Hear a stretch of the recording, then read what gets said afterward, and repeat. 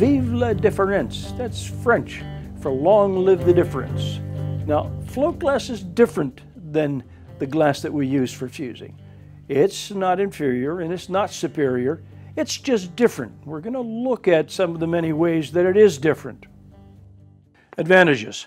Low cost. Float glass costs less than half the price of the cheapest art glass, and it's often even free as scraps. Widely available. Window glass is everywhere. If you can't get window glass, it's unlikely you can get any glass of any kind. Variety of thicknesses.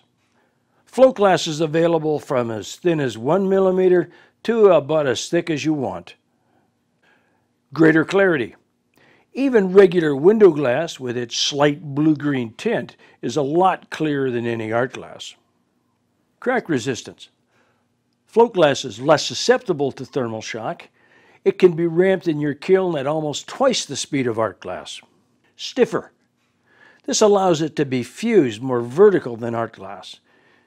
Makes possible projects that are completely impossible with art glass. Harder. Because float glass is a lot harder, it can be even used for shelves and dams and molds